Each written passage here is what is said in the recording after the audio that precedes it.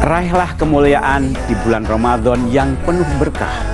Mantapkan ibadah di bulan suci untuk meningkatkan keimanan dan ketakwaan, dapatkan pahala yang berlipat ganda dan pintu maghfirah yang terbuka lebar. Bersama saya, Komarudin Hidayat, saksikan Kultum Gapai Kemuliaan di CNN Indonesia. Kemuliaan